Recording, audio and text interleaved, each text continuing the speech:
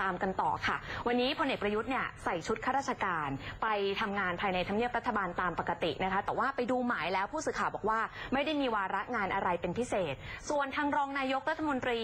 ทางคุณวิษณุเครืองามเนี่ยพูดอย่างไรบ้าง ถึงกกตคิดเห็นอย่างไรบ้างกับจำนวนของคนที่ออกมาใช้สิทธิ์เนืองแน่นตามที่ต่างๆ แต่ว่าสถิติที่ออกมาจากทางกกตเนี่ยดูเหมือนจะสวนทางกันครับรายละเอียดเป็นอย่างไรนะคะ ติดตามได้จากคุณจารุณีปิริดีรายงานจากทำเนียบรัฐบาลค่ะ เชิญค่ะ เชิญเลยครับค่ะเมื่อเวลา 9 นาฬิกา 45 นาที พลเอกประยุทธ์จันทร์โอชานายกรัฐมนตรี สวมชุดข้าราชการเข้าทำงานที่ทำเนียบรัฐบาลตามปกติค่ะ ขณะที่นายวิษณุเครืองามก็ออกมาชี้นะคะ ว่าในช่วงนี้พักการเมือง สามารถที่จะฟอร์มทีมในการจัดตั้งรัฐบาลได้ ก่อนที่คณะกรรมการการเลือกตั้ง จะรับรองผลประกาศสสภายใน 60 วันค่ะ พลเอกประยุทธ์จันโอชานายกรัฐมนตรี สวมชุดข้าราชการเข้าทำงานที่ทำเนียบรัฐบาลตามปกติค่ะ โดยก่อนขึ้นตึกไทยคู่ฟ้า ได้มีการโบกมือทักทายสื่อมวลชนที่รอถ่ายภาพ และจับปฏิกิริยานายกรัฐมนตรี ภายหลังจากเมื่อวานนี้เป็นวันเลือกตั้ง ซึ่งคะแนนของพรรคพลังประชารัฐก็สูสีกับพรรคเพื่อไทย สำหรับภารกิจนายกรัฐมนตรีในวันนี้นะคะ ไม่มีวาระปรากฏงานภายในทำเนียบรัฐบาล แต่ในเวลา 18 นาฬิกานายกรัฐมนตรีจะเดินทางไปร่วมพิธีมหามงคลบำเพ็ญพระราชกุศล อุทิศถวายพระบาทสมเด็จพระนั่งเกล้าเจ้าอยู่หัว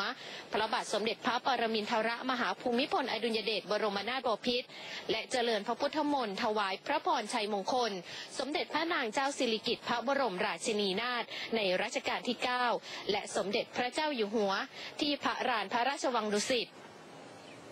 ส่วนความเคลื่อนไหวของรองนายกรัฐมนตรีที่ทำเนียบรัฐบาล เช่นพลเอกชัดชัยสาริกัญญะ รองนายกรัฐมนตรีที่ออกมาขอบคุณประชาชนที่ออกไปใช้สิทธิ์เลือกตั้ง แม้จะเกิดปัญหาขึ้นเพียงเล็กน้อย แต่ทุกอย่างเป็นไปด้วยความเรียบร้อย ทุกคนก็ต้องยอมรับในผลการเลือกตั้งที่เกิดขึ้น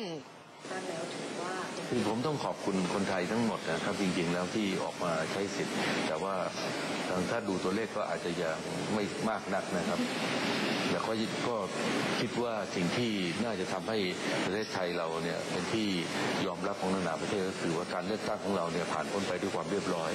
นะครับเเรื่องเรื่องความวุ่นวายในระหว่างการเลือกตั้งเนี่ยก็ผมคิดว่าก็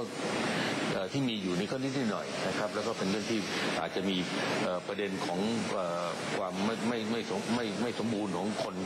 ที่ไปไปเลือกตั้งอะไรเนี้ยที่ทำให้เกิดเป็นบัตรเสียหรือว่ามีมีปัญหาเนี่ยนะครับดังนั้นก็โดยภาพรวมแล้วต้องขอบคุณนะครับ แล้วก็ทุกคนก็เดินหน้าไปสู่ความเห็นของแต่ละคนต้องยอมรับกัน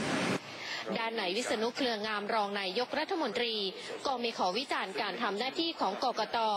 พร้อมระบุว่าช่วงนี้พักการเมือง สามารถพูดคุยจัดตั้งรัฐบาลได้ก่อนกกตรับรองสสภายใน 60 วัน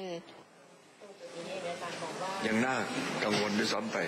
เพราะถ้าตัวเลขมันใกล้เคียงยันกันอย่างเงี้ย เรากำลังคิดมองต่อไปถึงเสถียรภาพของรัฐบาลก็ แต่เข้าใจว่า ความชัดเจนมันจะมีมากขึ้นกว่านี้ เมื่อหนึ่งมันได้ตัวเลขไปถึง 95%แล้วก็สองเมื่อประกาศผลการเลือกตั้งอย่างเป็นทางการ หรือใกล้จะเป็นทางการ ขณะนี้มันเพียงน้อยกว่า 24 ชั่วโมง หลังจากหีบนับคะแนนนั้นนะมันยังมีความไม่แน่นอนอีกหลายอย่างเลย ถ้าหากเอาประสบการณ์จากการเลือกตั้งทุกครั้งที่ผ่านมา มันจะมีการแจกใบเหลืองใบส้มใบแดง มันจะมีการร้องเรียน มันจะมีการคิดเรื่องเฉลี่ย ไอ้ประเภทบัญชีรายชื่อ ซึ่งเราไม่เคยทำมาก่อน แม้แต่เปอร์เซ็นต์แม้แต่จุดก็สำคัญ เพราะฉะนั้นวันนี้ใช้วิธีคำนวณกันอย่างหยาบๆเท่านั้นนอกจากนี้นะคะนายวิษณุยังแสดงความแปลกใจว่าทำไมผู้ออกมาใช้สิทธิ์เลือกตั้ง มีจำนวนน้อยลงกว่าที่คิด ทั้งที่เห็นการเลือกตั้งล่วงหน้า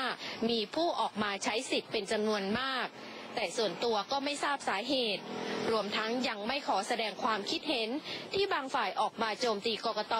ในการทำหน้าที่อาจทำให้การเลือกตั้งเป็นโมฆะได้